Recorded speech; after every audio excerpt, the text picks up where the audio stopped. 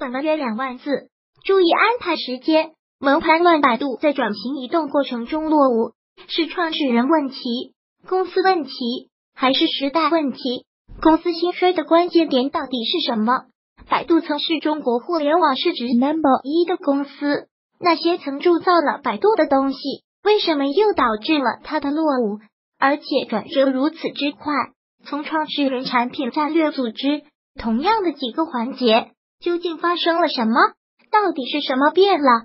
我的答案是：对组织而言，公司文化最重要；对创始人来说，保持热热领先最重要。在技术优势之外，百度一直缺乏文化和管理上的建设和进步。李彦宏也缺乏对市场更长远的看法和更大的视野。百度始于墙外，成于墙内，胜于谷歌被强，衰于内心围墙。百度和李彦宏都是复杂的矛盾体。我试图从创始人的性格和三观来看公司的文化和管理，进而再复盘公司的战略推演，找到最小的那个和是什么。七月初，百度 AI 开发者大会，重回一线的李彦宏对着一百台量产的无人车，跟大家说：“我们吹的牛实现了，未来中国会向全球输出 AI 技术。”不过，现场的百度员工应该都知道，阿波罗无人驾驶生态落地。产品化、商业化的快速推进，这个赢的 case 应该主要归功于这场大会去年的主人公陆琪。等到九月百度世界大会，厂长一定会分享百度的信息流业务，也是全国领先的。同样是被动追赶，阿里、腾讯 N 个团队做好很有预见性，不断向最初看不上他的那些人证明他才是对的。这些特别表层的点来展开。李彦宏应该也是非常认同且受用技术偶像这套赞美逻辑的。他持股百度用的公司名就叫 Handsome Reward Limited。年会本该是拉近跟员工距离的场合，CEO 可能需要恶搞自己，让员工开怀一笑，在那一刻意识到你也是个普通人。但是李彦宏一贯的选择可还是偶像贵族式的。二零一零百度年会。李彦宏年会献舞 Superstar 二零一一百度年会，李彦宏王子归来表演激情探戈二零一二百度年会，李彦宏头戴礼帽面具，一身黑衣化身佐罗二零一四百度年会，李彦宏身穿金色战袍表演架子鼓，唱男儿当自强大明星王子贵族个人英雄帅气偶像，他迷恋这些洋溢着旧时代审美气息的符号。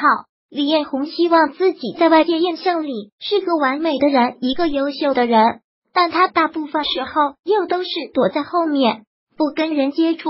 他不希望把自己的缺点放大化，但时常又会说让人质疑的观点，比如说移动是最佳，中国人不在乎隐私等。他喜欢静的东西，比如植物花草。他会在美国的后院自己的家里和办公室里都养各种菜树花。他喜欢一个人的运动，他最喜欢的运动是滑雪和高尔夫，都是自己跟自己的沟通。翻看他百度贴吧的个人主页，会觉得他就是身边的朋友，有着自己的兴趣爱好，过着岁月静好的生活。但如果以一个大公司 CEO 的要求来看，他没有真正走进别人的内心，别人也走不进他的内心。百度好多的点，也将是李彦宏性格的扩展。就是避免和人接触，只想做确定的事。搜索和 AI 更多还是机器跟机器在打交道，这是他的边界。但始终没变的是李彦宏对技术的信仰和追求。李彦宏喜欢冒险，李滑雪，每次滑的都是高级道。在公司上的投射，就是他对技术，尤其是硬技术的投入不惜血本。百度在一三年一月就成立深度学习研究院。李彦宏还亲任院长，这是后来百度转型 AI 战略的底牌。信息流推荐的核心技术是在大规模分布式机器学习，百度把凤巢的轮子改下拿过来就能发挥很好。百度从来不会在技术方面缺改，李彦宏对技术的追求一直都是最坚定的那个。李彦宏的用人观，这些与人打交道的钝感，让李彦宏的用人观非常简单。海归空降，三十岁以下，技术优先，十七年初，李彦宏那封又风清气正的全员邮件里提到要干部年轻化，于是百度来了吕骋和李教授这两个九零后。李彦宏跟吕骋聊了一个多小时，就被他软硬件一体的理想打动了。加上吕骋海归光鲜背景也是他喜欢的，用李教授则是因为那是百度广告增长压力变大，所以需要给广告主有新的思路和告诉广告主百度求变的决心。结果吕的团队产品卖了不到一万台就离职了，在职期间展示的傲慢，在公司内网激起众怒，被骂了两回。李教授的品牌方法论也并没有找到真正落地的场景。他在各类产品做的模型并不好用，这两个失败案例给内部员工留下了极差的印象。员工会觉得百度正在欢迎这种外表浮夸却并无真才实学的人，谁都可以来百度拿个高管的 title 镀个金捞一票走。当核心高管出现岗位空缺，李彦宏的第一反应也不是内部提拔，我在全球选人，谁是最佳人选，就让谁来担任这样的职位。李彦宏喜欢技术强、背景光鲜的工程师，比如李一男、张亚勤、吴文达、陆琪。但李一男是交换机时代的天才，不懂搜索；张亚勤是少年天才，却没在这个年代里证明过自己。吴文达是一心想把自己利益最大化、投入不足的人。只有一个给百度带来巨大正向变化的陆琪还走了，国纳斯良将，病急乱投医。两个九零后空降兵，其实可以反映李彦宏的焦虑，也能反映他人才评判标准的问题。他很容易被一些表象的东西所迷惑，看人非常草率，老是看不准。在高管层面，李彦宏偏好的技术强人，结果也发现都不是公司需要的人，及李彦宏想要的人跟公司需要的人不匹配。李彦宏更多从人的背景来看是否强，但强是个相对概念。不是他喜欢的人才是强，李彦宏本身就是技术天才，这些强技术背景的人更能够理解他，但不代表这些人适合百度。李彦宏把管理想得太简单了，而在全公司人才梯队建设上，李彦宏显得既没耐心又冒进。百度从十年、十七年，百度总在宣传公司平均年龄二十六岁，招聘方面一直在提年轻化。是因为李彦宏一直认为人的创造性的最高峰是在三十岁以前。他甚至在北大一场招聘宣讲会里提到，只希望你们为百度工作四年就好。越是创新性的工作，他越相信年轻人。比如李明远曾在二十九岁当上了百度负责移动转型的副总裁。正常的企业发展逻辑应该是员工跟着企业一起成长。百度想要让公司的平均年龄一直维持在二十六岁，除了扩大校招之外，就只能放任老员工流失了。李彦宏喜欢职业化的人，他默认每个人都很职业，都是积木块，可以随意变化位置，都能形成七巧板一样的组合。这跟他有很强的契约意识有关。合作规则明朗时，人人都可以标准化。他相信大家可以把他的文化传承下来，但这明显就是古典经济学的流度。他相信所有人都是理性的，无视了社交摩擦力的存在。不但空降高管却没看到新人进来的负面作用。早期被他影响、认同他的人很多已经离开了。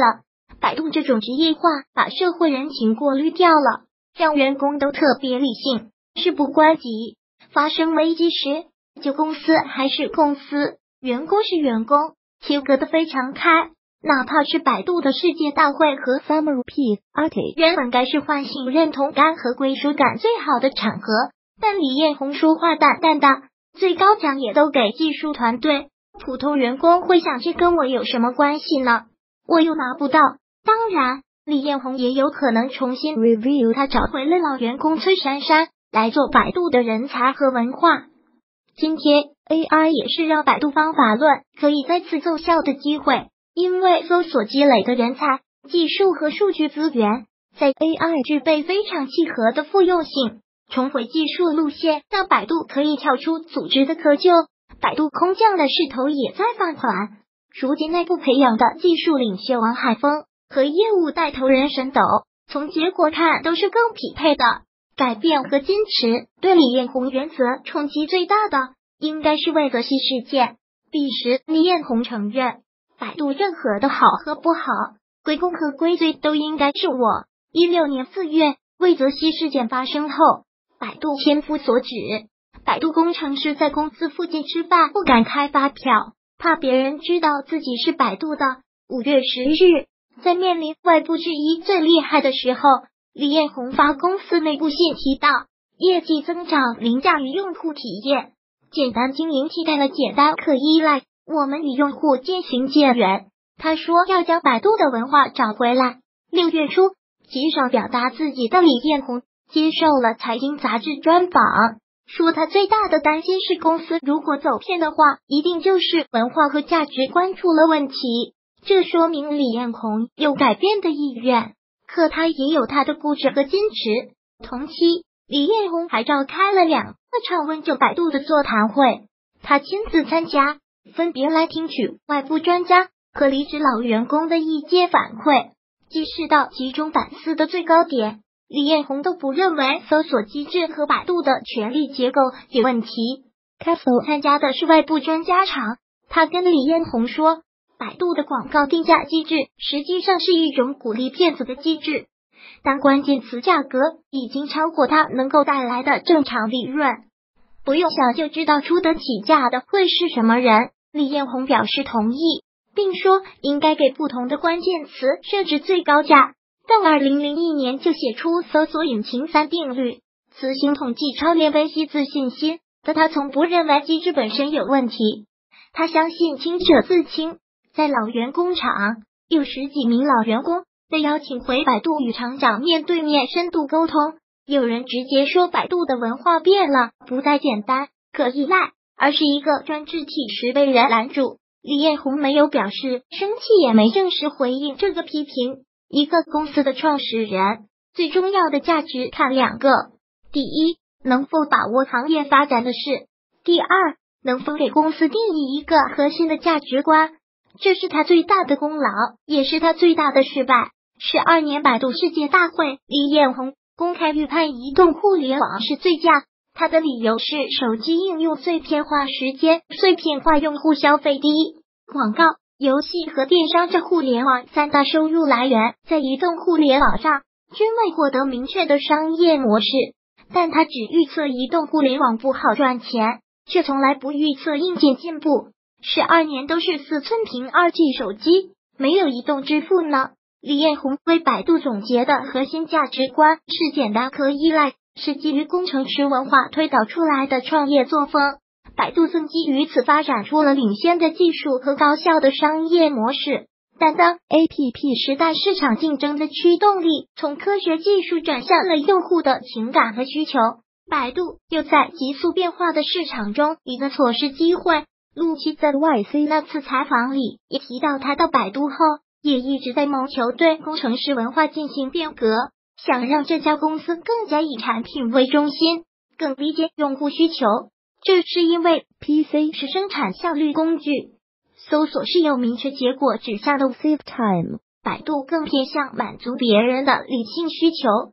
搜索产品的硬性需求是用户越快找到越早离开越好。这跟无限拉高用户时长目标天然相悖，但手机是通讯娱乐工具，更多的是娱乐杀时间的需求。要去占据更多用户的更高时长，就不能让用户的眼睛离开屏幕。信息流和短视频是纯多巴胺导向产品，是上瘾游戏。搜索是工程师解决用户脑子里的问题。移动端时间黑洞的竞争产品，不断出现吸人眼球的内容。当手指代替大脑成为思考器官，原先先进的生产力就变成了落后生产力。再用已经证明的逻辑来延伸思考，已经不适用。PC 是清晰的，知道怎么打，但移动在初期是充满未知的。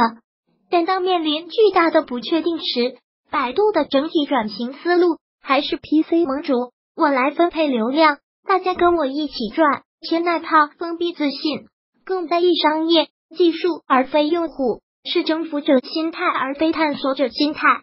百度核心是程序员文化太重，已脱离技术驱动机器，对机器的业务就玩不转。凡是涉及到与用户沟通的都很差，对非程序员的员工不够友善。无论是话语权还是管理机制，即便百度愿意进行改变，他们的文化也远远未达到这样做的程度。如果没有管理文化的突破，技术优势未必就是企业竞争的优势。二，百度转型移动为什么落伍？公司的肌肉记忆，你不用思考就知道自己该怎么做。就是肌肉记忆，人有肌肉记忆，公司也有。成为一个持续进步的公司非常难难，因为核心竞争力固化，公司很难在身份认知及核心架构和流程上做出改变。规模越大的公司越难改，本身就是因为肌肉记忆，这些公司很难削弱已有的业务，很难去尝试低回报的新业务模式，而任何战略变化都需要触及权力和利益。组织结构扫整，以及老业务和老组织对新变化的惰性，他们主要专注于保护自己的领地，忽略了更广阔的机遇。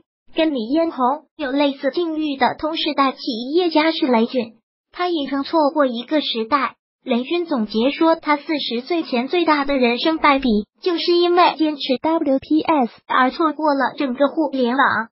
他在金沙的一封公开信中说。我们已经是祖父级、爷爷级的公司，时代已经从 PC 时代转型到互联网时代。在这个时代，我们都落后了。大家可以反思一下，我们整个公司的机制、决策流程，包括我们各级的管理者思路，是不是真正的互联网化了？二零零四年，我曾经在公司掀起了互联网转型的革命，但是。我不知道大家是否真的理解什么叫互联网。跟百度处境和应对比较像的同时代公司是微软。微软从未严肃对待移动设备。从 Windows 开始，微软的想法就是如何把桌面版的 Windows 塞进小设备里，而不是打造一个全新的、真正适合于小设备的操作系统。从技术上讲，这一思路不算错误，问题在于微软的敷衍态度。手机端适用的操作体验与桌面端完全不同。微软并未真正研究过手机用户的需求，却迷信于 Windows 的移植体验。在缺乏竞争对手的情况下，WM 曾有过短暂爆发。随着 iOS 和安卓的兴起，高高在上的微软手机一溃千里，从此再没有翻身。曾担任微软执行副总裁和百度 COO 的陆琪对此有更深的体会。他在接受 YC 采访时曾分享过，微软为什么没办法转型移动，不是人不聪明，不是不努力，不是不勤奋，而是认知上有一道难以逾越的门槛。我们超级努力的工作，什么都试过了，买了诺基亚，开发了 Nano，但是说实话。做出来的产品很烂，因为认知上搞不过来，就会导致他的产品运营商业模式没办法以新的方式来做，造成了一个在公司层面上无法逾越的障碍。这是因为有肌肉记忆，老气横秋的微软在更换 CEO 后迎来复兴。纳德拉上任四年，让微软股价涨了两倍。二零一四年，纳德拉上任时，微软内忧外患。但在他将微软的核心战略从鲍尔默时期设备和服务聚焦到移动和云之前，他首先是直奔企业文化这个问题，根本想要彻底改变公司的肌肉记忆。他将重塑企业文化当做最重要、最优先的战略。他想要微软在不断变化的世界中表达自己的目的感和身份感，不同于鲍尔默时期看重销售增长远超产品创新。在移动时代已经老迈落后时，人们自尊大努力炫耀公司有多牛逼，自己有多聪明。纳德拉首先提出一个微软口号：打破组织分离中制内斗文化，把你对别人工作的贡献率作为员工考核的核心指标，让公司从各部门各自为战到全面协同合作，同时也让管理者更严格审视自身存在的问题，更大范围内向同事公开信息。并且接受挑战，同时更开放和更谦逊与外界沟通。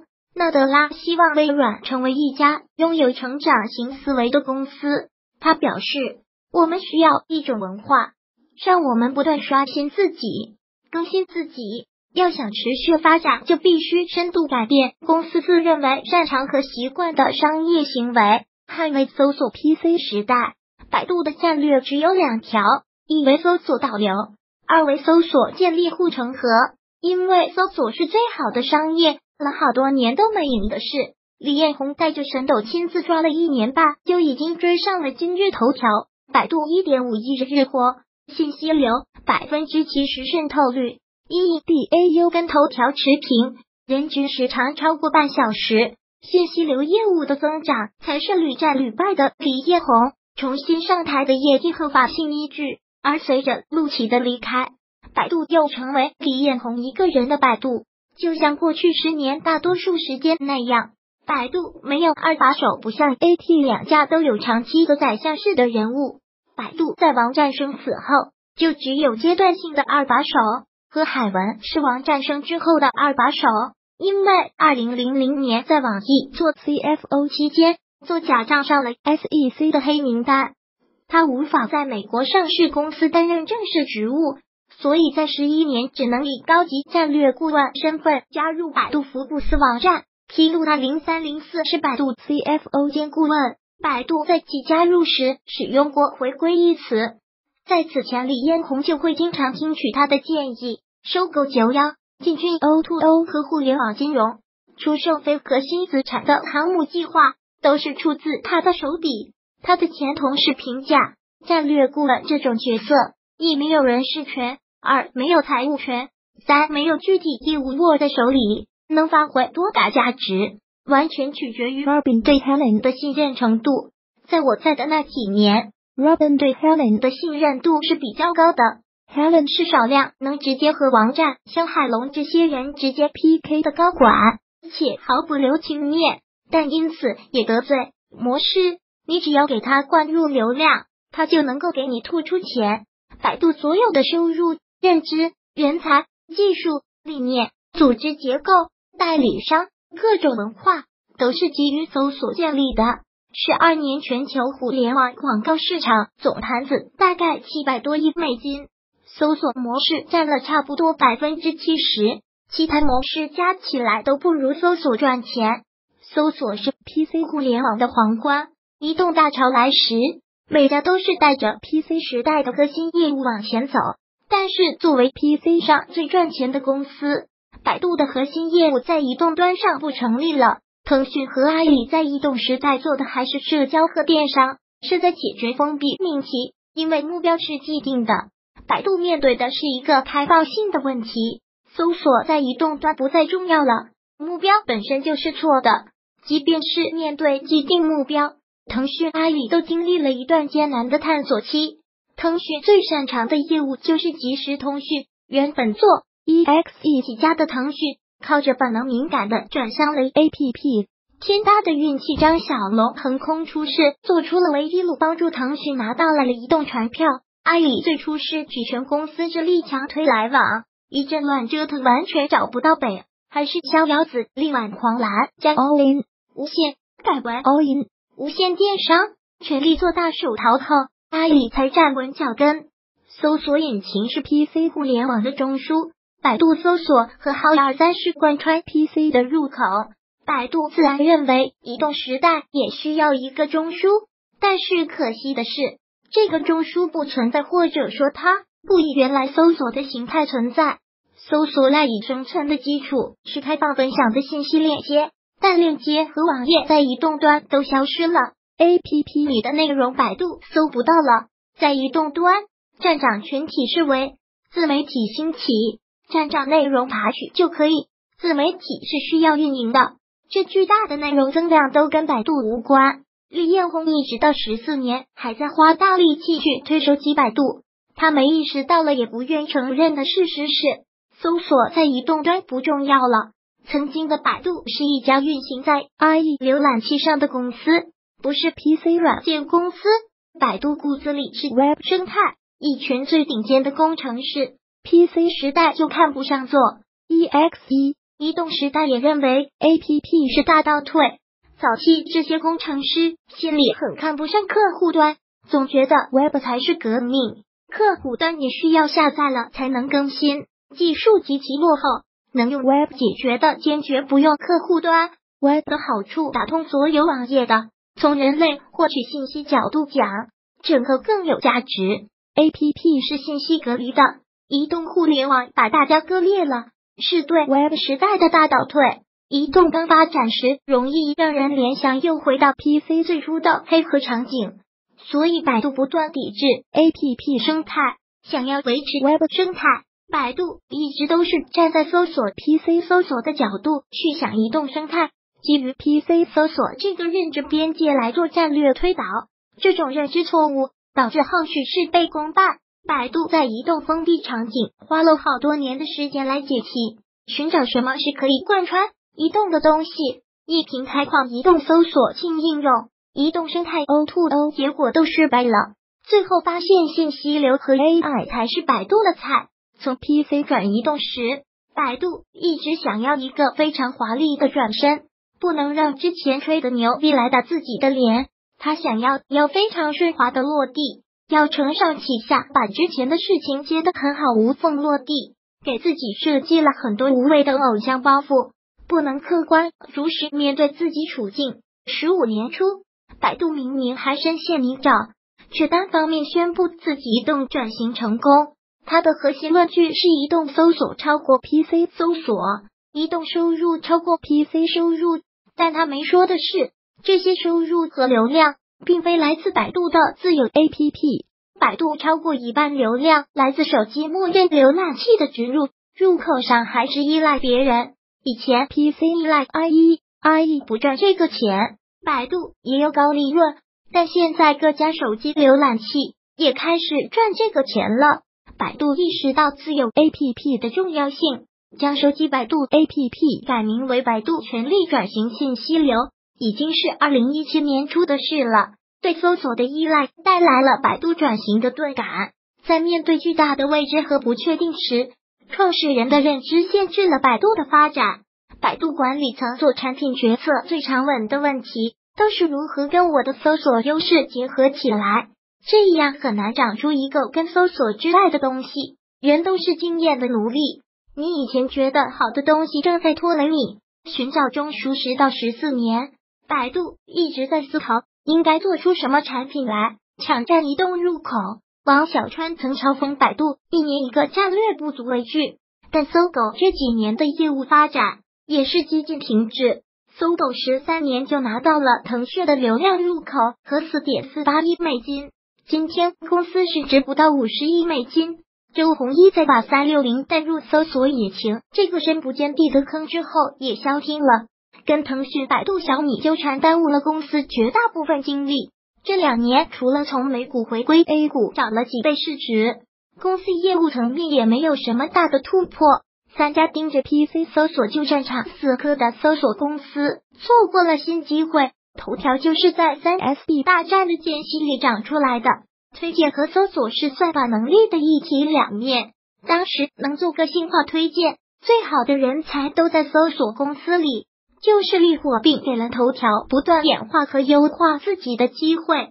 在众人围绕着过渡战场缠斗时，头条率先将移动互联网拖向了制造时间黑洞的时长战争。谷歌转移动时牛逼的是账号体系和安卓，百度很早也都做过，但搜索是急来急走的需求，在用户心中天然不需要账号，这是用户认知习惯很难改变。百度一直没有找到打造账号体系的合适场景，外界看似最契合的铁板，在内部从来没有承担过这个使命。百度在十一年的时候也成立了自己的手机部门，找了摩托罗拉一群人，做了对标安卓的一平台，将自家数百种应用和服务里的关键产品集成进去，然后完成百度的账号统一工作。百度找了戴尔、长虹等手。机厂商来合作。当时百度还设计了先端后云三步走的移动云战略。第一阶段端上的百度一平台，第二阶段形成云生态系统，第三个阶段云和端整合做百度云操作系统。百度做一平台最初是受到了安卓的刺激，核心还是为了搜索，要发展起一平台，作为中国手机用户的搜索入口，初衷是为了做搜索的护城河，帮助谷歌再借安卓进来中国市场开展搜索业务。这样的思维贯穿在产品设计当中。百度的产品经理都有一套根据数据做产品的方法论体系。百度产品文化的基础逻辑就是普天之下莫非王土，互联网所有需求都会在搜索的框里面表达。因此，百度产品看用户在移动端的需求，也是从移动搜索结果来推，不断去寻找匹配大众高频高需这三个维度的事情来做。但首先，当时百度的移动搜索量很小，然后用户也不再通过搜索引擎来表达所有需求。百度的产品经理还在固守 PC 那套方法论，比如李彦宏为一平台定的第一个功能点就是开机几框，你打开手机后只有一个框，你想要打电话、搜图片都在这个框里搜索，即所有都是从百度想要什么的战略出发。而非发自用户需求。百度在与手机厂商合作时，百度觉得别人不懂互联网，手机厂商觉得百度这帮人压根不懂手机。同期，在小米选择 MIUI 发烧友互联网电商作为突破路径的时候，百度一平台还在忙着到处找代工，做凤巢投放和渠道代理销售模式。更大的槽点是，开发一平台的产品经理。日常和在公司做安卓系统设计、安卓体验时，他们用的都是苹果手机。一平台失败后，百度的转型战略是 PC 到移动搜索，再到移动服务。十三年，公司聚焦重点资源，砸几个核心产品，是移动搜索、应用市场、地图和浏览器。其中，首百是百度移动最重要的产品，因为是公司品牌和移动搜索战略落地。地图和手机助手重要过一段时间，用地图解决导航，守住在用户换机时推百度手机服务。输入法和浏览器是被三六零搜狗三级火箭玩法影响的。事实上，手机百度最初在内部很尴尬，主打单一移动搜索能力，存在感不强，又属于要不能停的产品，只要 BD 一停量就跌得很快。用户获取信息的方式已经从搜变成刷，每天都打开手摆搜索的用户需求并不足够旺盛。手摆的日活打开次数时长留存等数字都不好看，但出于百度的品牌骄傲感，还是砸了很多钱要把量维系住。万幸的是，它成了后来百度转型信息流的业务根基。十三年时，市场觉得应用商店才是移动入口。百度也花十九亿美金收购九幺，创造当年中国互联网最大的一笔交易。百度在收完九幺后，第一个月就发现九十一量掉了很多，因为之前有太多的资源位都被超卖和流量预售融合了三四个月后，还一直在帮酒，一背锅填坑，把账填平。最后，百度选择短时间内竭泽而渔，将九幺所有资源掏空，全部导向百度系产品。一夜间，百度有了十四个用户过亿的 APP。其实，李彦宏最初在公司内是反对团队做应用商店的。他觉得让用户搜 APP 不对，应该让搜索去解决用户的需求。因为用户下载完 APP 就不会再回到搜索了。至于新应用，则是某天夜里知道微信要发布服务号，李彦宏在群里问应该怎么办。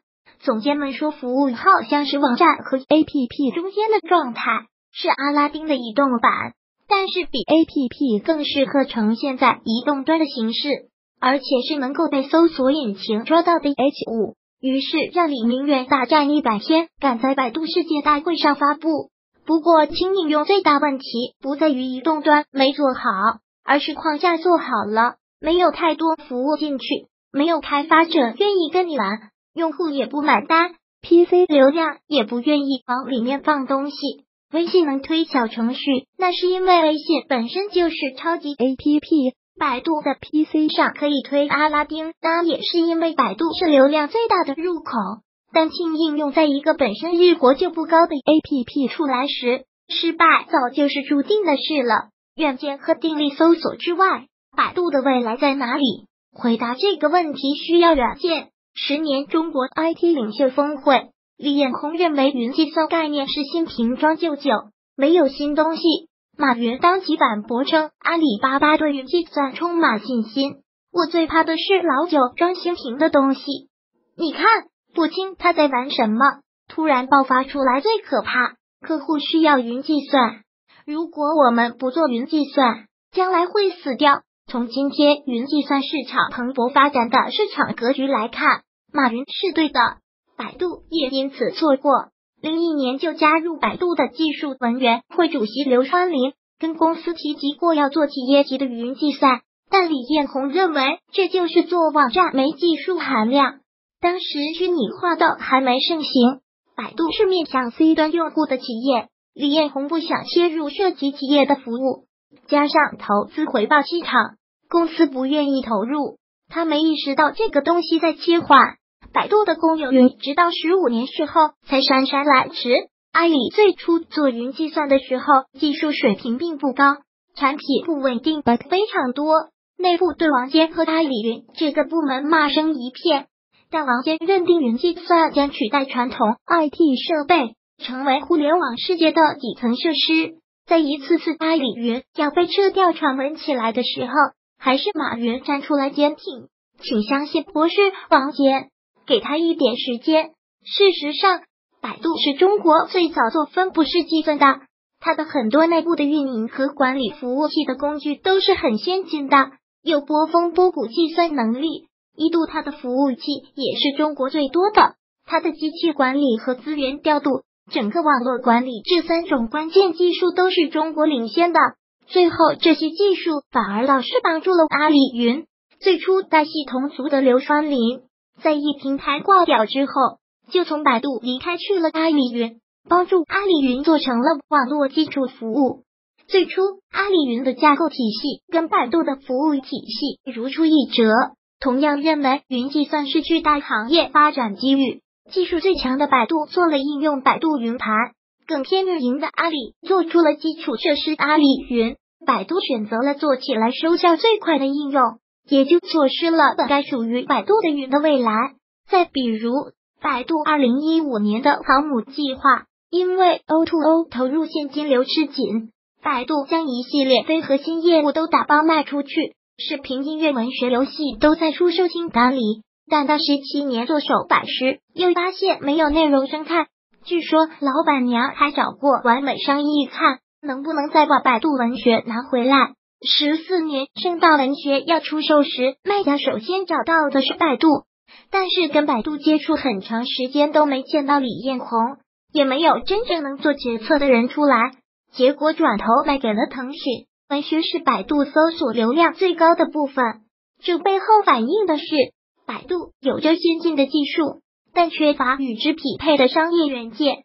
百度技术起家，向来喜欢挑战更前沿的技术，但明显对大众需求关注不够。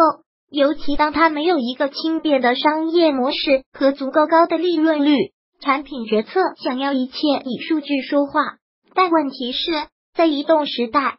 你不再掌握完整数据，而数据一般都是很滞后的，只能反映短期的曲线。百度的产品文化没有产业链思维，只有 C，没有 B，一切以数据出发，没有使命感和战略感。搜索是最好的商业模式，一切为搜索服务。这意味着，如果带头人没有远见和定力，百度一般都只是是波段，不好就立马放弃，没有长期战略坚持。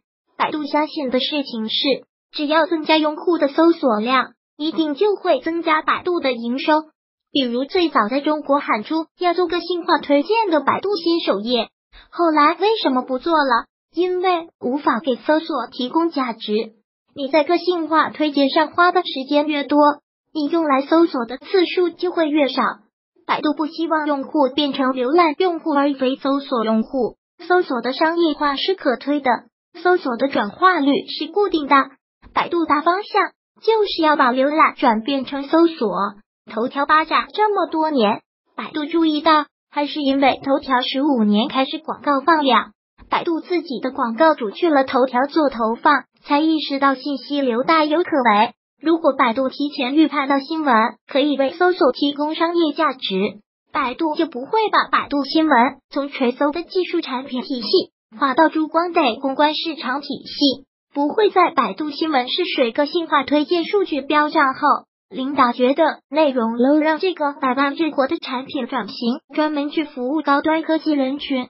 领军人物和内耗更大的问题还出在公司内部部门间各自为战。李明远的移动部门最初码量效果不佳，想过很多打法让百度 PC 的资源给移动带量，比如在贴吧、知道百科任何场景，只要出现 APP 时候，就给助手导流提供下载按钮。但是大家不愿意做，不能做。如果要做大量，就是要走凤巢商业推广通道，内部结算。如果可以合作带量的话，贴了很多人。张亚勤一四年九月加入百度，曾做过短暂时间的二把手、任职总裁。十五年初转为负责三个事业群组中的新兴事业群，目前掌管百度新兴业务群组、智能驾驶事业群组、国际业务以及公司的技术体系。张亚勤给百度带来不少 AI 人才，但也在他任内，百度公关风波不断。他带领的新兴事业群组也并没有获得显著发展。原是杨氏十六年下半年发进贺海文的办公室兼职首席顾问，一个隐性的二号人物，主要协助 CEO 规划百度长期发展战略和选目，吸引一流人才。任旭阳回归后叫停了 O2O，还参与将百度外卖卖给了饿了么。在陆琪加入之前，百度的战略收缩由他负责。早年是他牵头创办的爱奇艺，并请来公寓人 CEO，也是他在十七年初举贤不避亲，请回了老板娘马东敏做百度 CEO 特别助理。有点意外的是，曾在零一幺幺年在百度工作十年的任旭阳，这次不愿正式全职加入，只是兼职。然后就是副董事长、总裁 COO 陆琪了。与上述二把手不同的是。这是百度自二零零零年创办以来，李彦宏第一次退出一线实际业务管理，将权力上渡给公司里的其他同事。这可能跟他在整个移动时代屡战屡败，CEO 管理合法性缺失有关。陆琪在任内帮助百度梳理清楚了战略和业务，确立主航大和护城河，裁撤业务，更换高管，让百度聚焦到夯实移动基础，决胜。爸知道一定也是需要移动部门先帮忙完成他当年的服务 KPI。到今天，百度首页和搜索结果页依然没有非常强的将 PC 用户转化成移动用户的功能提醒设置。首版希望移动搜索很多新的功能和内容是自己独家的，比如你在 UC 里面没有这样的服务，我借助客户端能力，我可以有更强的搜索能力。但当时移动搜索认为自己应该跟各种客户端合作，而且自家 APP 日活很小，于是两边开始撕扯。后来王梦秋带领的大搜部门也想做移动搜索，也想做 APP，于是跟李明远移动部门的手机百度 PK，为了一个 Pad 尺寸到底有几寸吵架，最后得出了七寸屏幕这个分界线。七寸以上屏幕的算 Pad，七寸以下屏幕都算手机。Pad 用户搜索体验大搜接管，手机用户搜索需求手摆负责。等到手摆手助发展有些起色时，商业化部门来要求接流量，移动产品部门就说我们用户体验还没准备好，且应用市场售卖规则 CPA 赫二次激活和凤巢搜索广告系统不一样。一位当时移动部门的干部事后感慨，但是大家没意识到的事情是，十二到十四年你移动做不起来，以后 PC 也没多少量了。在巨大的公司转折面前，大家想的还是纯粹的资源置换，没有为以后长远布局考虑的打算。十五年后，百度移动的量也开始往下降了，这样的案例。在百度从 PC 向移动转型过程中屡见不鲜，核心原因在于百度各部门考虑的如何使我的利益最大化，考虑的都是各种资源如何为我所用，缺乏整个公司一盘棋的意识。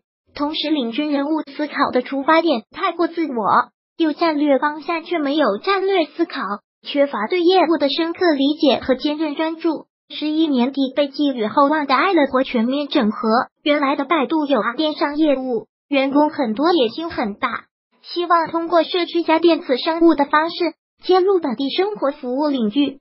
但他一直想的都是我自己怎么样，所有人因为我怎么样，不是每个人在这个产业链里面可以获得什么。结果做了一年多就开始大裁员，因为商家不知道来你这儿能得到什么。用户不知道来你这儿能干什么，你自己都不知道你自己想要什么。百度向来推崇技术改变世界，但一直缺乏真正对产业和产品有深刻认知的领军人物。十年前，百度有啊，只是做了一套电商的壳，李彦宏就给李明远颁发了百度最高奖。电商的发动机是什么？核心是什么？没有 get 到，只是用技术这个单一维度。来思考一个系统问题。太古后来复盘说，爱乐活犯了贪嗔痴的毛病。我们说一开始好像就造了架七四期飞机，需要有好材料、好设备、好机组成员好，安全系数高，抛导还得比较长，所以大飞机就比较难迅速起飞。要做电商，一个交互良好的网站就够了吗？二十四岁的李明远对产品技术之外的交易物。留供应链能有多深理解？要做 O to O，要做的推要管理一大批每月工资三五千的劳务人员，找中工的干家委们是不是更合适？迄今百度系最成功的两家公司，爱奇艺和去哪儿，龚宇和庄晨超都是在百度体系外长出来的。这不只只是个巧合，领军人物缺乏对行业的深刻认知，导致百度资源再强大。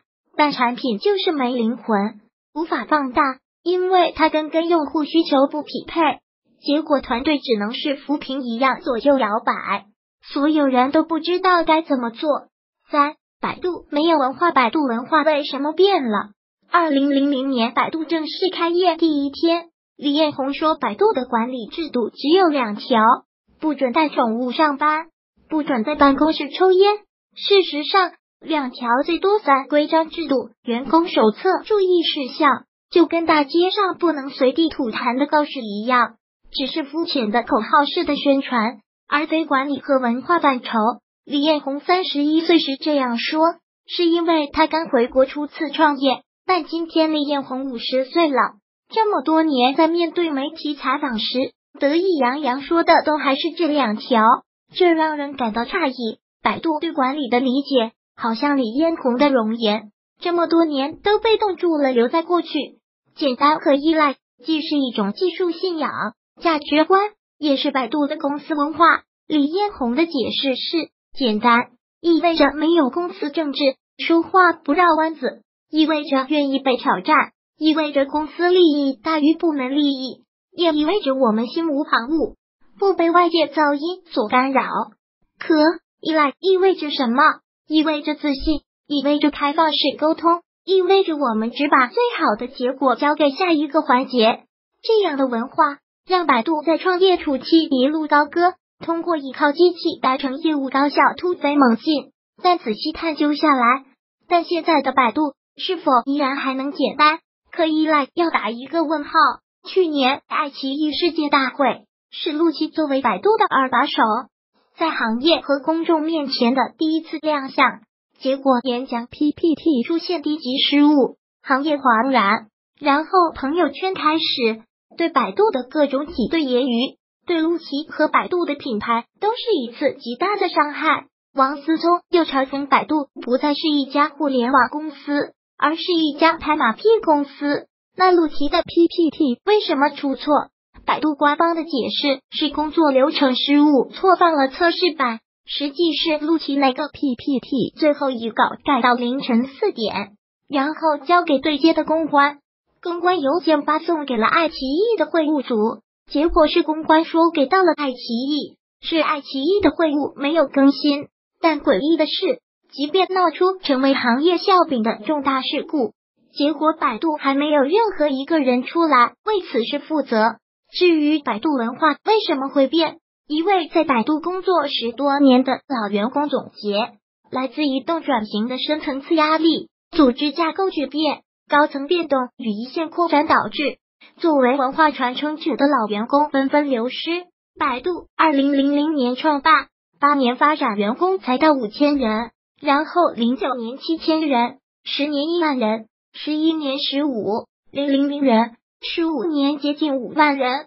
之前百度组织比较简单，有变化只是大部门之间的汇报关系有些变化，而为了应对移动危机，另起炉灶，新出了移动 O2O 金融等新的大部门。这期间，百度人员扩张非常激进，各个部门人数都是成倍增加。同时，伴随着的还有早期核心老员工的流失和频繁空降的高管。同时，在使谷歌退出中国之后，百度明显商业体系。拿到了远超产品体系的话语权，这一切让百度简单可依赖的文化被稀释，业绩增长凌驾于用户体验。简单经营替代了简单可依赖，企业文化传承开始出现断代，老员工离职潮和高层更迭从零八年开始。零八年，百度管理层除 CEO 外，所有 CXO 都辞职或被取代。零九年空降不到一年的 COO 叶鹏和 CTO 李一男辞职，产品副总裁于军也在这年辞职。十年，崔珊珊、孤单、王笑这三个百度旗舰客在总监位上离职。更大的节点是十三年 PC 搜索走向低增长，开始向移动切换的时候。十三年负责用户产品和技术体系的王梦秋离职。王梦秋走后，大搜团队多位总监也选择了出走。比如今天头条技术副总裁杨振元和曾担任头条技术顾问的廖若雪，最后赶上创业潮兴起和 VC 老同事的怂恿，AI 无人车市场哪家还没几个百度的核心技术？百度素来有偏好空降高管的传统，但空降兵又不承担文化传承的责任。当老员工看到一批空降，尤其是不专业的空降过来坐享其成时，联想到内部提拔晋升空间，进而对公司这种做法感到心灰意冷、失望，选择离开。很多离开百度的人都觉得自己被伤到了。更著名的节点，十二年底，李彦宏发了改变，从你我开始的整封邮件，表达他对公司文化变异的担忧，希望消灭公司的啃老基层。对于淘汰小资是互换狼性，来互换狼性就是要胡萝卜加大棒。要让所有员工更明确，如果想找一个稳定工作，不求有功，但求无过的混日子，请现在就离开，否则我们这一艘大船就要被拖垮。要知道，李彦宏在十二年中，百度世界大会上还认为移动互联网是最佳，后来在三六零大举杀入搜索市场后，年底又喊出要鼓励狼性，淘汰小资。这多少有些在外面被流氓打的结果，自己回家打小孩的意思，将战略失误怪到执行。当时的虎嗅作者季中展有发文评论，在经过十几年的快速发展，这些公司有的只是口号式的技术改变世界梦，或者低俗的 IPO 梦，而理想主义的旗帜早已卷起，在企业管理哲学方面都是顶层设计的矮子。对于公司管理，仅仅依靠股票期权的激励加拿来主义，包括高级管理人才等等的组合，大都没有形成独到的管理哲学，制定好完善的管理结构，调动和发挥强大的组织力量等。如同十二岁的孩子，虽然长到了一百七十厘米，但心智发育不成熟。即便如想要输出管理哲学的李彦宏，他的那二本书《百度论语》和《一百度》。虽然成了百度公司员工人手一本的红宝书，但书的内容也仅仅停留在书的层面，没有上升到道的层面。除了营造令人眩晕的崇拜感外，对百度发展没有长远性的系统指导价值。因为书会随着企业发展的不同阶段遇到不同的问题或时，而道会让企业在不同阶段匹配不同的书去应用。所以李彦宏在遇到问题时。没有到管理哲学的指引，又指出了惯用的简单的拿来主义，借用了另一家公司发明的狼性文化，有了这番鼓励狼性、淘汰小资的言论。Robin always right。好的 CEO 一定要遏制自己的欲望，最差的 CEO 就是变成山大王。想做君王的 CEO，最后只能变成孤家寡人。李彦宏爱看互联网新闻。但手摆的个性化算法满足不了需求，策略部门天天就被李彦宏报各种 bad case，比如去年底爆出的百度内 feed 业务推荐沟通群的群聊截图，李彦宏问一条搜狗 IPO 路演 PPT 注释的新闻，并未推送给自己。老板对推荐都爱提这种 bad case，但推荐系统可解释性比较难的。优秀地老板是听懂原理就能理解和信任，忙碌地老板，你查清楚了信息链路，说明白就好。但是首百团队的应对是给李彦宏私人定制一条流，手百的策略部门找到百度新闻的科技内容运营，把首百 feed 推优平台的互联网分类做成了李彦宏专用的定制流。早六点到晚十二点，要有人时刻在推，算法搞不定李彦宏的口味，就靠编辑们纯人工加班加点。当然，李彦宏知道后废止掉了这个行为，但不知他是否知道，他经常搜索的花草树木搜索结果页也是优化定制的。李彦宏自封百度最疯狂的首席体验官，但他提的 bad case 会打乱研发正常的开发节奏。为了迎合他一个人，别人要停下来专门解完这个还需要再写 PPT 来解释这个事情。因为老板提的需求永远是要第一时间满足的，然后因为下属及时全面的响应，很容易给 CEO 造成一种我比你们更聪明的错觉。我发现了这个 bug，为什么你们没发现？李彦宏本应该有更长远的看法和更大的视野，但他却花很多时间。在关心比较低级别的事情，一位参与过百度移动转型多个核心产品的员工跟我回忆，大家对百度在移动互联网时代的落后也困惑和不满。然后 Robin 就把大家叫在一起开会，然后回来以后，我的领导跟我说，Robin 给大家解释了为什么当时没有抓住那些机会，因为我们要聚焦做搜索，如果不是当时怎么怎么怎么的。就没有搜索今天的地位。从这个从上到下的解答看，上行下效：一、死不认错，为失败找借口，而不是为成功找原因；二、通过夸大自己过去取得成绩的难度来证明自己很牛，而不是因此认识到自己的不足，并进一步给出解决思路；三、对真正的全局、战略、节奏没有真正智慧层面的把控。更希望更短时间在某个显而易见的领域争第一，而不是对全局有所把握。慢慢的布局，追求实质的竞争力渗透，而不是表面的风光。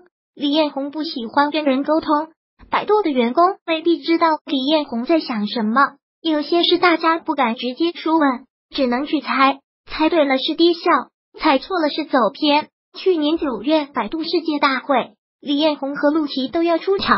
下面的同学在排会议流程时伤透了脑筋，一个是 CEO，一个是刚来半年的总裁。这次世界大会，这大老板和二老板发言的顺序应该是怎样的？这两个人之间的关系是怎样的？如何让人理解两个人之间的关系？谁该何时出现在什么场合？结果是李彦宏主讲，陆琪来串场。李彦宏也会说：“我希望有人来跟我拍桌子。”可是那个人在哪里？年主高管总结会上，跟基层员工开完新峰会的陆琪说：“非常遗憾，你们不跟我说真话。”其实高层视线是被蒙蔽住的，不止陆琪，曾经李彦宏也一样。百度转型移动初期招了很多海归，新来的负责人在公司总监群里报他使用百度产品时遇到 bug，结果对方找到他说：“我们都是一家人，我们都挺好的。”老板在这里，这什么意思？你为什么说我产品坏话？对方以为李彦宏在群里，你把我的 bug 是在约我拆台。而作为内部沟通重要阵地的公司内网，在百度更多承担的内宣和舆论管控的职责，对于推进做好公司这个产品帮助不大。知乎用户赛东提过一个他在内网遭遇的案例：他毕业入职百度半年，正赶上李彦宏提出狼性文化。在公司内网的此条新闻下，我发了个回复：公司的战略问题不可能通过让员工多干活来解决。百度坐拥百分之五十净利润率，而不去开拓更有未来的业务，不是好现象。给的是草，吸引到的是羊，给的是肉，吸引到的才是狼。最后的结果是，该条留言获得了最多的赞同和回复，而凡是点赞的同事，全都被 HR 和经理约谈。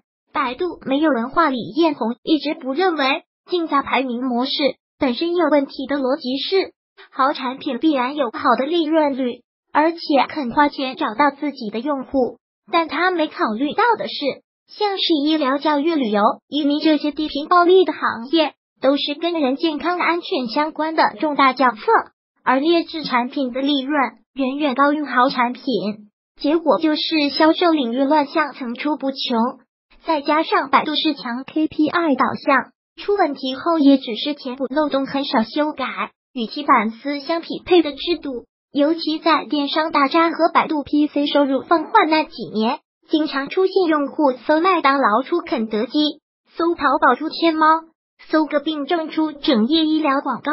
这跟百度上一版的使命让人们最平 AI 时代这两条主线，在内外舆论和资本市场反馈层面，陆琪的确成功将百度的印象从一家销售公司重新转变成技术公司。但陆琪并没有获得与其高位相匹配的权利，甚至没有人事权和财权。当陆琪想要将公司变革新政推进到组织文化层面时，他毫无征兆突然离开了。跟李彦宏感情最深的二把手应该是王占生。零五年百度上市庆功会，当时的 CFO 王占生让受他批评最多、希望获得他表扬的人站起来，结果第一个站起来的是李彦宏。他想要获得王占生的表扬。王占生零四年加入百度任职 CFO，帮助百度成功 IPO。他任职期间，帮助百度从两亿美金估值做到了一百三十亿美金。他建立了一整套成熟的财务审计和信息披露体系，同时还监管公司的行政、人力资源、法务等部门，都对百度做出的巨大贡献。如今，阿里 CEO 张勇也是看到王占生在百度的成功，受他影响，从普华永道加入盛大的。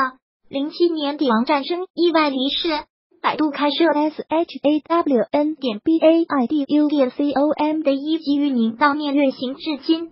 后来，李彦宏回忆说，创业以来，他遭遇的最大打击就是王占生的逝去。当年一位战略部门的同事也跟我回忆说，去世之后。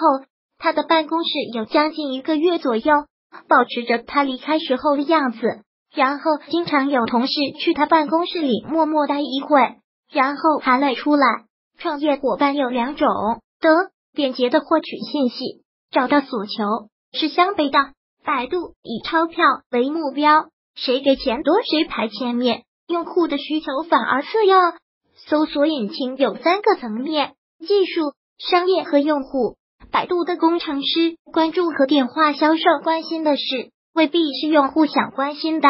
百度虽然一直是做 C 的流量卖给 B，但对用户真实是怎么想的，百度到底是服务谁的，关心不足。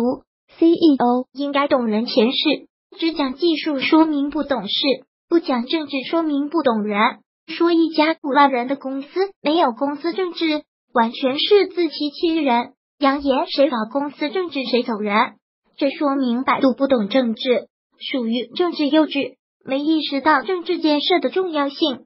百度的新人入职培训，主要就是花两天时间学习一下百度《论语》，有时 HR 还会主动问你，如果工作太忙了，就不必参加了。组织这个东西本身不可避免产生自己的边界感，整个组织的边界感，每个人的边界感。每个人对山头的理解是不可能避免的，而你想管理好这件事，你要用一种顺人性的方法去完成逆人性的事，才能实现的这样一个目标，而不是天真的期望这件事情自然消失。百度对于这些复杂的管理问题，老是奢望能够大家平对公司精神的财务自觉简化，在制度建设上一直停在认知很表层的地方。一直缺乏顶层设计。百度新人入职都要发两样东西：百度论语和一百度。其中，百度论语还挂在了百度的公司官网上。百度论语零九年刚公布时是二十九条，一百度，百度十年前背的二十九条法则，是基于百度论语写的，两本册子都是朱光刚加入百度时编撰的，都是基于李彦宏在面对重要问题时的表述。该书中的每一个句子都是李彦宏亲身实践并不断强调的，这些浓缩了百度人灵魂的故事，是百度十年来最宝贵的财富，被百度视为基业长青的不二法门。仔细看完这两本小册子，我只能说卑职无甚高论，装潢精美，内容泛泛，没有什么高明的见解。百度《论语》只是个巨型公关物料，文本可读性跟普通软文差不多。只是操作痕迹更重，拿这个来做公司文化指导内涵，实在是太浅了。在唤醒百度员工归属感、认同感、内心骄傲层面，百度伦理完全起不到精神标杆的作用。至于一百度，基本照着完美神话的路子去了。豆瓣图书介绍第一句是让职场新人迅速成长为企业核心，帮企业发现跨越式发展的核心秘密。里面有提到李彦宏如何给李明远发最高奖的惊喜，如何从善如流，让百度的聊天软件叫了百度，但是全书都没有对任何一个产品失败的反思。这本书里关于场景的还原和高管的心理活动描写非常有意思，比如为什么会有贴吧这个产品产生，于军被称为贴吧之父，完全是浪得虚名。这一切都是因为在 Robin 的光环照耀下。后来，于军宁愿到百度对面的滴滴打工，也不愿再回百度。在魏则西事件爆发后，于军说：“你们怀念我，我怀念 Google。如果外部压力不够，我回百度也是独木难支。百度的核心问题，首先是价值观，然后是激励机制。另外，百度对涉台问题态度一直非常暧昧、模糊不清，每次高层变更都被传成是一场宫斗剧。”李明远、王占、王进门都是不欢而散。如果真是有人贪严重侵犯公司利益，那该把他们直接移交有司，而不是发一份莫名其妙、既说你有罪，但我不办你感谢你为公司的付出的废话。在关键问题上是非模糊，没有原则。这些公开的矛盾，充分说明百度没有底线意识。而且很多高管和核心员工离职后，都选择了跟百度直接竞并的核心领域，比如公司最高决策层的王进拉了一票百度的人出来创办景驰无人车，这说明百度在员工忠诚度培养这块是很失败的，没有强有力的公司文化建设。百度技术再强，市值再高，也只能是一盘金沙。专注模式还是专注价值？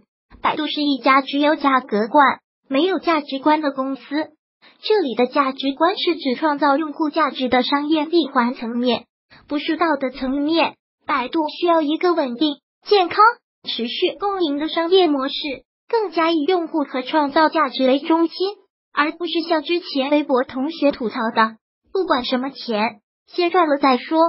至于是把生态做好还是做坏，把市场做小还是做大，把调性做高还是做低。一概不管，有流量就有收入，有收入就有 KPI，别的呵呵，反正公司是罗饼一个人的。百度的文化悲剧在于，最核心的几个产品都是靠技术推导出来的。最早期的 MP 三图片检索都是前端超级简单的产品，后端超级复杂的技术，技术在这里面话语权变大，大到漠视践踏版权的地步。十一年，韩寒那波文化人生套百度文户。更早前，音乐人投诉百度 MP 三。如果那时候足够警觉、有自省意识，就该顺着把内容生态做出来，而不是傲慢宣传互联网的精神就是免费和共享，开罪整个文化圈。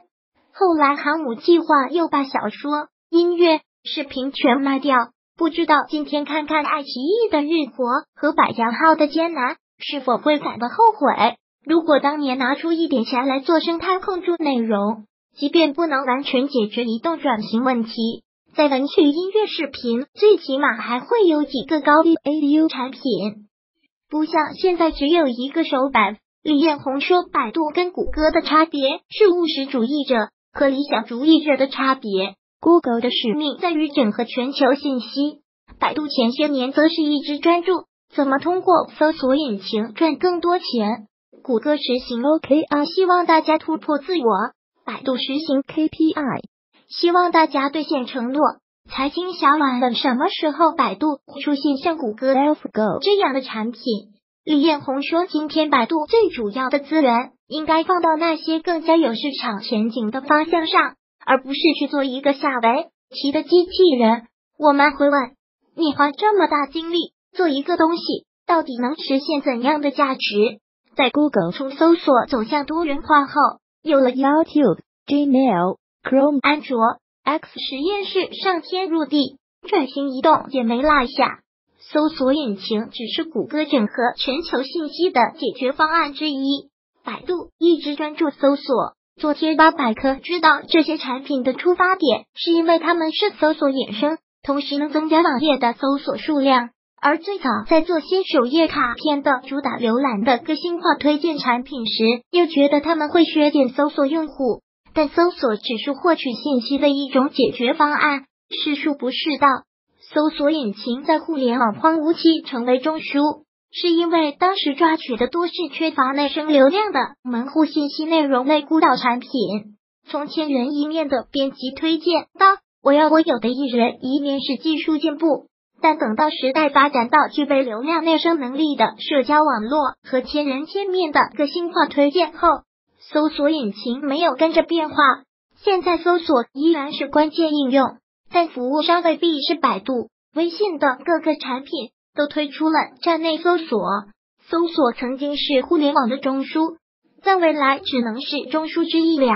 因为信息组织的形式发生了变化，人的因素在互联网中蔓延。厉彦宏说，他非常害怕，不知道从哪个领域杀出来的一匹黑马，致使百度处于特别不好的境地。百度永远都在跟比自己大的对手竞争。这个我不怕，这种颠覆更可能来自比我们体量要小的企业。那是因为大公司都是上万人的战争，它是公平对决，它需要长考，长考一定带来漫长时间的犹豫不决。正常战丁中没有大关系，的垒时可以长考，但低级它和切换巨变时没有时间。往往一家新型创业公司乱拳打死老师傅。做更确定的可以短期见效拿数字说话的事，收益是显性的，副作用是隐性的。太务实的话会偏向被动型策略，欠缺 inside 去发现下一个机会，这种机会成本是不容易被注意到的。钱都是验钞机印出来的，就不太有人愿意去思考战略问题，去思考五年后的问题。保守一点，平时没问题，一旦入市就是大事。保持热着领先很重要。参考材料：珠光一百度留着。艳红聪明，中国青年李彦宏的成长故事。这篇稿子聊了三十多人，采和写花了快两个月，写的非常痛苦。我需要从新手村再重头打起，一篇一篇写。感谢所有的聊天对象，还有一流、永亮、丁伟等同学给我的帮助。一类是时运很好，恰好赶上了。能力不一定是最佳的，旗舰课里面有不少是个人成长跟不上公司规模成长速度的，说是属于第二种，真正有高度且可以跟得上公司发展的创业伙伴，人格魅力很大，人很正，一定程度上扮演王背后的男人的角色，说是可以直接批评 Robin 的人，可惜早逝，对 Robin 打击很大。Robin 在接下来的很多年里。都没有这样一位能直接自己亦师亦友的人存在。王占生去世后，李彦宏失去了一面镜子。零八年起，百度高管持续更迭，老员工不断出走，公司一直没有稳定的二把手和高管团队。同时，李彦宏的个人权威在百度变得越来越大，他的自负不再压抑展现在所有人面前。CEO 一言独大，内外缺乏制衡，出现重大误判时。没人能够去帮他纠偏，决策者归根结底是找同道，能否有同道的关键在于 CEO 的能力和心胸。雄主有心胸，是因为心里有胆又略有辙，所以需要磨砺。但李彦宏过去几年部分可能有点运去英雄不自由的意思，运到没了。华尔街还一天到晚问你要利润，就不敢有心胸。李彦宏曾经也能听。一。偶像李彦宏李彦宏的粉丝群体。红粉 Culture Shock 公司。是创始人认知的投射。一九九一年，当年中国 GDP 不到美国十分之一，美国遥遥领先中国。因为语言文化发展。阶段不同，青年留学生会有很新鲜的孤独感，觉得生活到处都不一样，心理上会受到很深的 culture shock 文化冲突，进而全盘接受美国的商业伦理和管理观念。但在他们回国之后，因为中美企业运作模式、环境和文化价值理念不同，他们又会遭遇到二次的 culture shock 反向文化冲突。这两种认知方式出现对立和分裂，使得他们在公司管理上会变得拧巴。李彦宏真正接触社会是从美国开始的，从二十三岁到三十一岁，他留美八年。他的三观、商业认知和工作习惯应该都是在这个阶段成型的。期间求学、工作、结婚、生活，拿到风险投资，待的还都是华尔街和硅谷这种代表最美国商业文化的中枢。加上八十年代末北大自由开放的校园背景，他深受这种文化吸引，所以从商业操作层面，更多受美国现代企业制度的影响。在第一次遭遇文化冲突时，有件小事塑造了青年李彦宏的人生观。初到美国时，有件小事曾深深的刺激了他。一个大雪的清晨，他开车出门，一不小心就被对面驶来的车辆蹭掉了后视镜。但因为急着要去学校，李彦宏对肇事者挥挥手说算了，然后开车走了。打出意外的是，第二天他竟然收到一张传票，对方反把他告上法庭，因为他没等交警来处理就跑了。这让李彦宏明白一个道理：感性常常于事无补，理性、冷静和对规则的尊重才是最重要的。李彦宏是一个简单正直的人。他在 SP 赚钱最疯狂的年代没有染指，当时网易、腾讯都是靠 SP 业务赚钱撑下来的。但百度试完后觉得这是欺骗用户的钱，坚决不做。李彦宏刚回国时开记者会，不给记者车马费。他说：“记者的工作不就是要报道行业吗？”后来还是公关说这是中国国情，百度才开始给了。很多小的细节来看。李彦宏是很有原则和正直的人，包括最近他还推出简单搜索，承诺这个搜索产品永远不会上广告。个性化推荐不应仅仅攫取用户的时间，而应该为用户提供有价值的内容，将用户有所得。李彦宏有着非常好的契约精神，他曾将百度发展壮大的一半功劳归功于期权制度下的公司文化。期权对于员工是最大的约束。也是最大的激励，其他管理手段反而退居次要位置了。百度的期权都是拆的，没有像优酷上市古永枪搞那种十八锁资的把戏。早期离职员工九十天内都可以把自己的期权买成股票，从来没有想过要对员工控制，都是完全按照美国硅谷最成熟的那套来。百度创办以来，遭遇舆论风波无数，其中李彦宏跟央视的往事。可以作为一个很好的注解。零五年百度上市后，李彦宏被央视评选为 CCTV 中国经济年度人物，双方关系开始密切。零八年时，央视持续曝光百度竞价排名问题，李彦宏的应对是将有问题竞价排名全部下线，并在年底上线凤巢系统，同时花几千万出现在零九年初的央视春晚嘉宾席上，获得八次镜头特写。等到十一年，百度成为中国市值最高的互联网公司，李彦宏成为中国首富。CCTV 二又连续四天多档不同节目持续密集曝光百度存在的问题。这次百度选择了冷处理，或者说跟央视开启了冷战模式，并在十三年追上央视广告收入十四年超过，直到十八年深海熊商人释放开放信号。李彦宏才选择跟央视再度牵手。零八年央视曝光时，是销售体系管理确实存在漏洞。十一年，李彦宏不认为凤巢推广系统本身有问题，他骨子里是一个相信清者自清、不愿多做沟通的人。海归李彦宏创业初期找的多是北大的学生，一群非常聪明、有干劲、高度自律的优秀年轻人，这让他树立起百度简单可依赖的文化价值观。他从北大资源宾馆的两个房间起步，在中关村李彦宏办公室的窗也是一直朝着北大。但后来的销售体系跟技术体系不是同一群人，工程师在公司全员的占比也在不断被稀释。产品 vs 销售，校园 vs 社会，简单 vs 复杂，公司的构成文化变得越来越偏向中国而非硅谷。但是李彦宏对于公司的做派和期许还是硅谷式的。李彦宏是山西人，爱吃面条。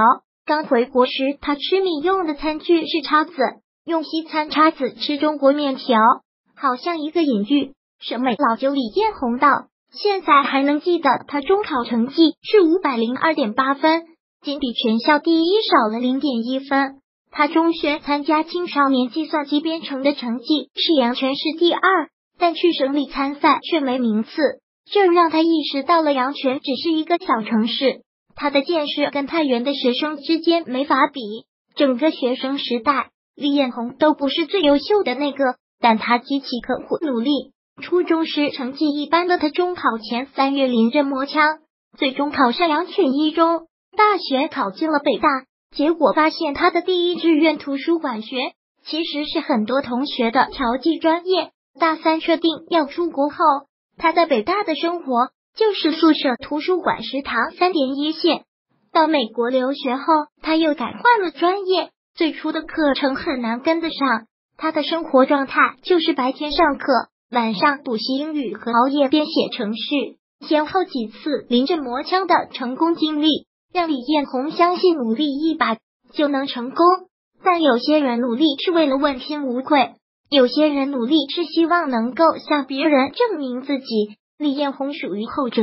刘忍在百度早期的采访，彦宏聪明里提到个细节：李彦宏喜欢表扬，受用表扬。自从有作文课，老师就拿他的作文在班上当半文读，如果有一次没读，我就觉得很郁闷。表扬让李彦宏对文学产生了浓厚的兴趣，所有五木的的行为。都有一个结果在等着。李彦宏是少见的热衷形象管理的巨头创始人。百度这么多年做 CEO 传播时，都是围绕李彦宏又帅又有钱、技术华、